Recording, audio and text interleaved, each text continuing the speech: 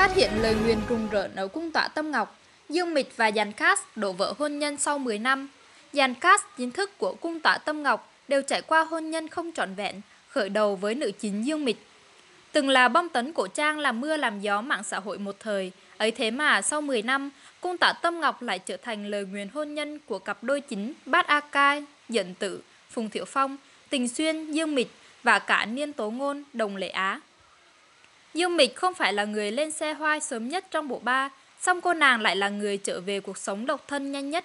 Năm 2014, Dương Mịch và Lưu Khải Uy kết hôn sau 2 năm yêu nhau với trái ngọt là bé tiểu gạo nếp. Nhiên tới năm 2018, cả hai quyết định đi tới ly hôn do cả Dương Mịch vẫn Lưu Khải Uy quá bận rộn, không thể dành thời gian chăm lo cho gia đình. Công việc cũng khiến cho cặp đôi trở nên xa cách nhau hơn. Tình cảm phai nhạt khiến cho cả hai đành phải đặt dấu chấm hết cho đoạn tình cảm 6 năm của mình, chứ không hề có bất cứ một cuộc cãi nhau, tranh chấp nào.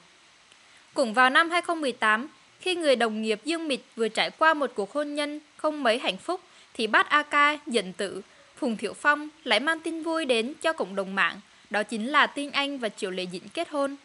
Tuy nhiên, sau 3 năm kết hôn, cặp đôi Minh Lan chuyển đã khiến cho người hâm mộ phải bàng hoàng khi thông báo ly hôn vô cùng đường đột. Cũng giống như Dương Mịch, cuộc hôn nhân của Phùng Thiệu Phong phải đi tới hồi kết do lịch trình công việc của hai bên dày đặc, tình cảm vì thế càng trở nên nhạt nhòa. Tuy nhiên, từ nay về sau, cậu con trai nhỏ tưởng tượng vẫn sẽ do cả hai vợ chồng nuôi nấng và chăm sóc. Khi nhìn lại cuộc hôn nhân này, người ta thấy rất nhiều chữ không, không một đám cưới, không cả nhận cưới và cuối cùng không có một kết thúc có hậu. Trong năm 2014, giới showbiz không chỉ đón nhận tin kết hôn của Dương Mịch mà còn cả của Đồng Lệ Á. Cô cùng vị hôn phu của mình đó là Trần Tư Thành đã tổ chức một lễ cưới tại Tahiti sau 2 năm yêu nhau. Khá hơn Dương Mịch một chút, cuộc hôn nhân của Đồng Lệ Á kéo dài tới năm 2021 mới kết thúc với nguyên nhân xuất phát từ việc tài tử sinh năm 1978 bị phanh phui cặp kè với cô gái trẻ bí ẩn lúc vợ đang mang bầu con trai đầu lòng, song Đồng Lệ Á vẫn bao dung, bỏ qua cho Trần Tư Thành. Ngựa quen đường cũ, nam diễn viên vẫn tiếp tục thói trăng hoa của mình, khiến cho ai nấy đều cảm thương cho Đồng Lệ Á.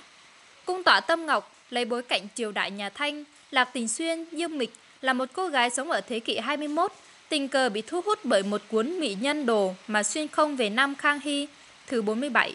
Tại đây, Tình Xuyên gặp gỡ và rơi vào tam giác tình yêu với Tứ A Ca Dẫn Chân, Hà Thịnh Minh và Bát A Ca Dẫn Tử Phùng Thiệu Phong.